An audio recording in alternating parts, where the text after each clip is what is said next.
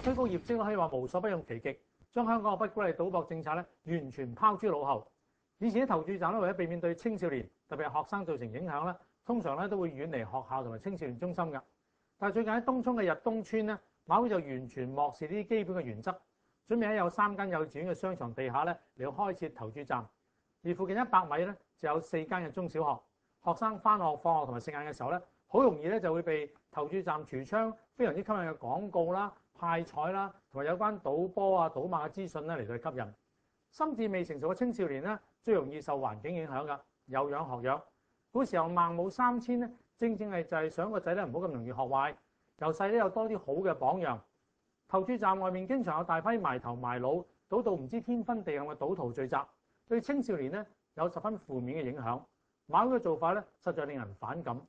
另一方面咧，亦都係協助戒賭嘅機構咧，就批評就東村咧係全港最貧窮嘅屋村之一，有四成嘅住戶咧要攞綜援㗎。馬會而家為咗搶客咧，可以話係大小通吃，而唔少嘅病態賭徒咧，其實都係嚟自綜援戶㗎。馬會近年咧，恃住有大批嘅慈善捐款在手，同埋咧要交巨額嘅稅項，政府咧同埋唔少嘅資助機構咧都要買佢怕咧，所以就橫行無忌。我哋呼籲新獲委任嘅博獎會主席同埋成員能夠發揮真正嘅監察作用，亦都鼓勵大家咧向博獎會嚟到投訴，制止馬會向青少年同埋低下階層埋手呢一種嘅歪風。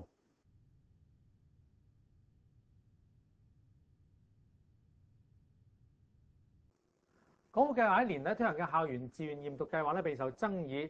較早前咧，私隱專員吳斌係質疑咧。而家嘅法例咧冇有，有效咁咧嚟到保障學生嘅私隱。政府正係提出咗多項加強保障個人私隱嘅一啲嘅建議，會出一份諮詢文件。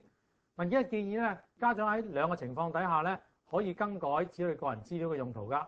第一就係子女唔能夠充分理解啦，或者冇足夠嘅智力去理解啦。第二咧就係啊涉及嘅用途咧對子女或者當事人咧有明確嘅好處。咁譬如咁樣樣咧，就可以將驗毒嘅資料咧交俾警方啦。啊不過文件又建議咧，喺三種情況底下咧，父母咧冇權咧查閲子女嘅個人資料㗎，包括一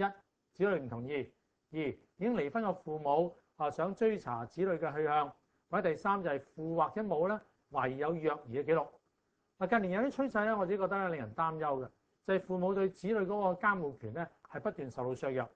其實除咗有證據證明父母咧係虐待兒童或者係嚴重疏忽照顧咧。我覺得大家應該尊重咧，同埋信任父母咧啊，對子女嗰個嘅監護權，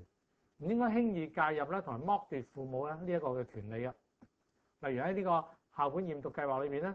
父母咧係絕對有權咧知道有關嘅結果㗎，同埋咧考慮點樣處理，無需咧未成年子女嗰個嘅同意。就好似而家未成年嘅子女要做手術、要領取護照，甚至係結婚咧，都要父母簽字㗎。